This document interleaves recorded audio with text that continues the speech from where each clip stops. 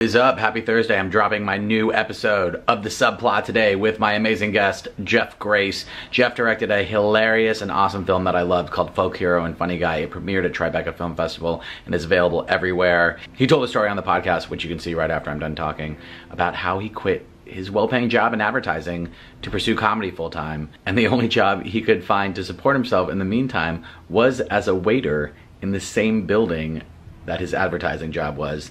You got to hear this story. Around the age of 30, I left my ad agency, and then I was like full fledged doing the comedian, like nightly. I was waiting. I like. I literally went from working in an advertising agency to working in the restaurant in the base of the building. Wow. Which was a real humbling experience because people would walk into me and I'd be wearing like a waiter tie and shirt, and and they would be like, "Jeff, what are you doing here?"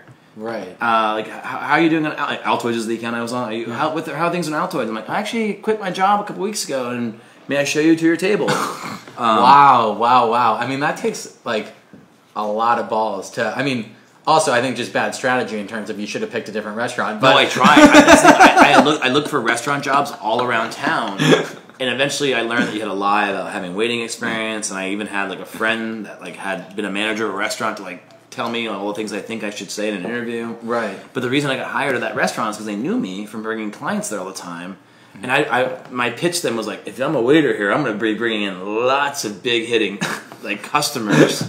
they didn't care.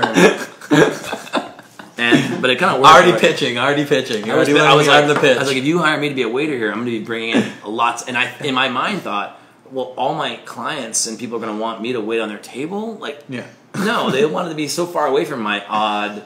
Like the guy that just quit the agency is now waiting on me.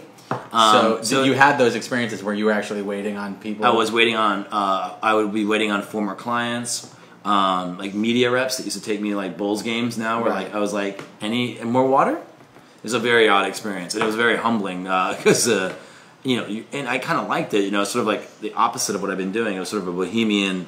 You know, I was doing the whole thing where you're like going out and getting drunk with the other waiters at three o'clock on a Tuesday night. Right you know, they're sort of like I could wake up at you know I could get out of bed at eleven o'clock on a Thursday. That seemed really awesome. Right. Um, and so when they, when you would run into them, would you say like, "Yeah, I'm pursuing the dream. I'm going for the passion"? Is that kind of what? Yeah, and people. I mean, when people hear that, they're of course like, yeah, I think maybe behind my back they'd be like, "That guy's a fucking idiot," but um, to your face they would be like, "Oh my god, that's amazing!" Right. And, and, you know, and your close friends are very supportive. Right. I mean, even though I think everyone secretly is like, "Good luck." Click the link to check out the whole episode, and have a great Thursday.